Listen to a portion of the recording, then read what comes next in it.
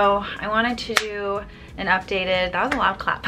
I wanted to do a updated, really natural, light um, makeup. I did this video a couple times, I think, since I've been doing YouTube and I know that a lot of you guys really like it because um, I think it just helps you figure out how you'd want to do like natural makeup on your eye shape if it's similar to mine. That's what I'm gonna do today. It has changed a bit, so, but not that much.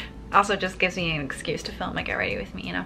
Okay, I'm gonna do my uh, base and I've been using this. This is the M Cosmetics Daydream Cushion. I use Gentle Light.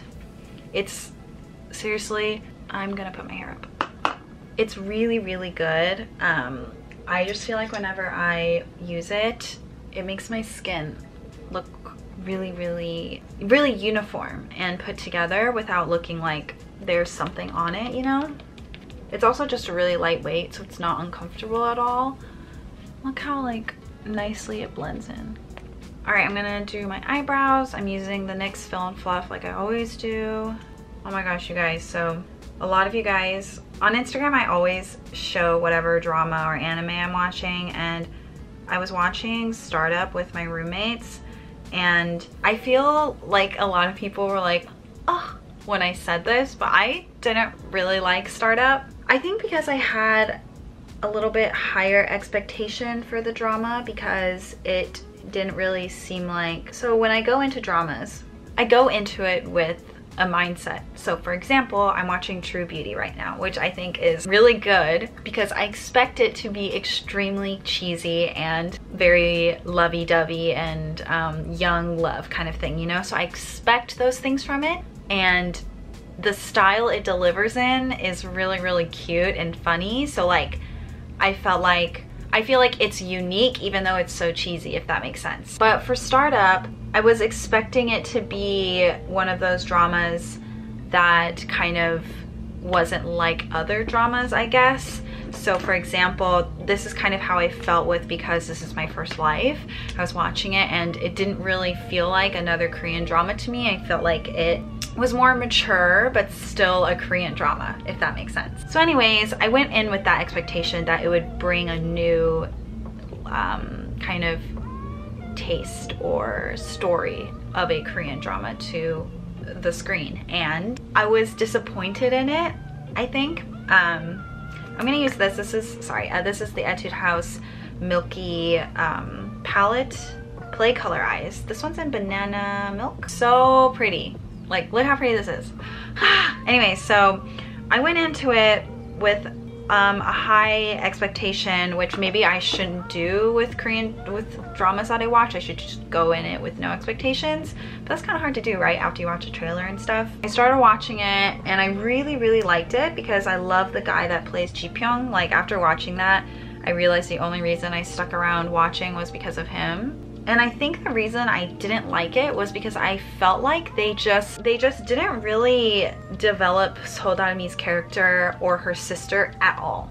Or they did, but they didn't show it. And so it was just like very abrupt. So for example, like spoilers by the way. So for example, like her forgiving her mom felt like really abrupt because what her mom did was really messed up and just unrealistic almost. Like I'm sure it's unrealistic for her to have forgiven her so quickly, even given her personality. And that's another thing is like, did they do that to all to further support her personality of almost being too perfect? I would expect that from a Korean drama like True Beauty where the main character is like almost has no flaws, you know, like she's the underdog, um, and she's so nice and kind and she does everything in the upright way. And that's like what I expect from True Beauty. And even in that sense she doesn't do everything in the most upright way.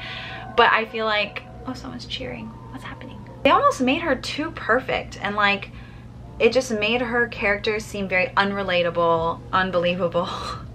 Um, and I didn't really like it. I understand that her character is a bit is very passionate, a bit naive. Like I understand all of those qualities about her, but they didn't give her any flaws. I really liked her sister because I feel like they gave her flaws. Like you really don't like her until you kind of understand her. And I feel like they missed out on so much character growth that they could have given her. I feel like the drama had a lot of potential. I don't know what I'm doing right now. I feel like I'm just giving you a review of a Korean drama, but I feel like they could have just done so much more with the female characters and they gave it all to the male characters. They gave Namdo-san so much growth and they gave Ji Pyong so much growth, but they didn't give the women that much, if that makes sense. They didn't cover their growth, I guess is what I'm trying to say. And to be honest, I don't feel like Seo Dal-mi grew at all. But anyway, so that's like kind of the reason I didn't really like the drama and I wasn't really into it and I feel like a lot of people were like why? Why? It's so good. And I do think it's a good drama and I do think if you like Korean dramas you'll really enjoy this one. I think I've just become really really picky considering that I don't watch like regular TV anymore. I only watch Korean drama or anime so I think my pickiness is very high also, sorry, I didn't say anything that I did. Um, so basically what I do with this palette is I just take this and I put it all over my eyes. I start with my fingers and then I go in with uh, this one on the outer corners of my eyes. Um, and that's literally all I did while I was talking. I was just going like this and then taking the darker color and going like this. And then I take a brown eyeliner. I'm using this ColourPop one. Um, this is in the shade Grande. You guys have seen me use this quite often as well and I just do a small wing. Let me zoom you in. So I just do a small wing like this.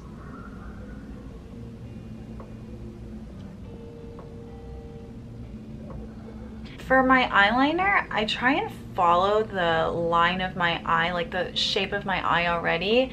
And then I lift the wing up just a little bit. Um, I really like the way my wing looks when I do it like that. And then I just fill in the rest of my upper lash line.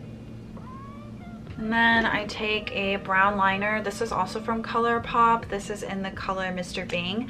And um, I just put it on my lower lash line right here.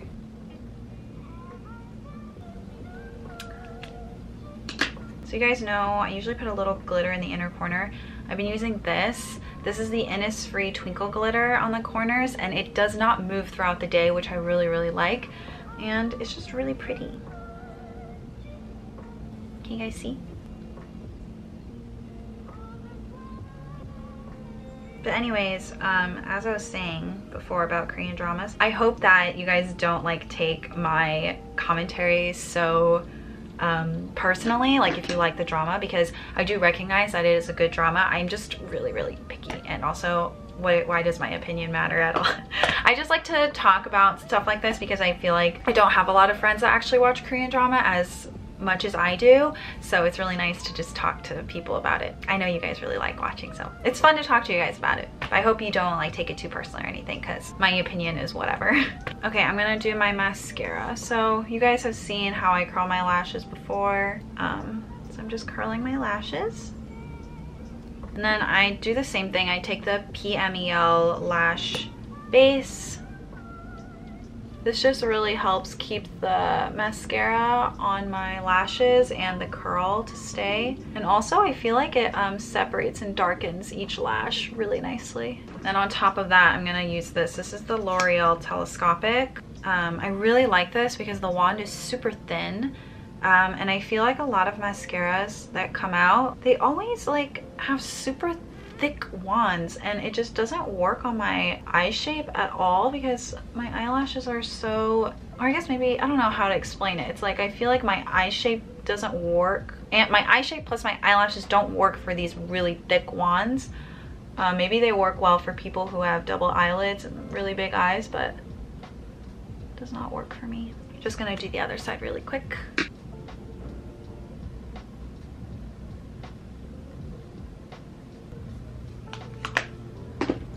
Okay, I'm gonna do contour. I'm gonna take this. This is Kevyn Aucoin um, contouring palette or something. This is in the shade medium. I will link everything down below. But I'm gonna take this flat brush and I just use it to do my nose a little bit.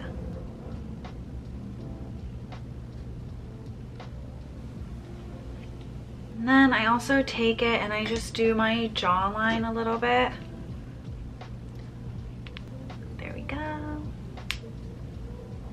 Also, you guys, so we did a Q&A before Jimmy left, and Um, maybe it's up by now. I got a lot of questions from you guys about, oh, when is he gonna propose and blah, blah, blah. Also, I'm gonna take this highlighter from ColourPop and Lunch Money put it on my nose and a little right here. But yeah, so I got a lot of questions about that and usually like in the past, whenever we've been asked about that, wait, did I forget something? I forgot something. Oh my gosh, I forgot to put like a little bit of glitter right here. I love doing that. I'm gonna take this center color from the Banana Milk palette. I'm just gonna lightly put some right here. You can't even notice it really, but I like having glitter on my eyes. Anyway, so I got a lot of questions about getting proposed to and usually in the past I would have said like, oh, I don't feel like we're ready yet. I don't feel like I'm ready yet. Also, this is the 3C blush in Rose Beige. I'm just gonna put it on my upper cheekbone and kind of blend it down. So anyways, I've always answered it like that ever since we kind of have been doing these little Q&As on YouTube. But when I got the question this time, I didn't really feel like that as much. I'm not saying like I want to get married right now. I'm just saying that I feel like maybe I feel like kind of ready to be proposed to. But I didn't really answer that question very clearly in the video, I feel like, so. But yes, I do feel like I'm a little more ready. I think he is too, but I feel like we feel awkward like talking about that on camera, but. And I know I don't really have to tell you guys like this feeling or anything, but I don't know, it's kind of fun like sharing with you guys how I feel about stuff.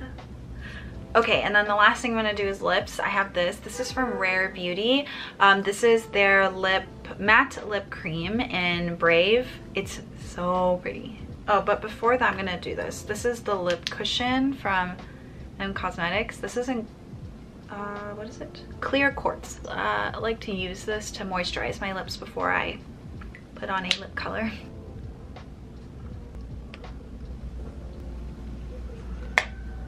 Okay, so this is the finished look. And I did like a heatless curl last night. Or this is day three, so like two nights ago.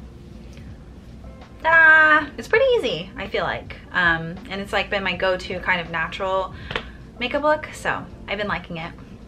But I hope you guys enjoyed this video and um, I feel like I didn't actually really talk about that much because I was this makeup look is really short and I was just rambling about startup for the first half so. But I hope you guys like the video um, and I will I promise this spring I will tell you anime recs or k-drama recs actually tell me down below which ones you would like more.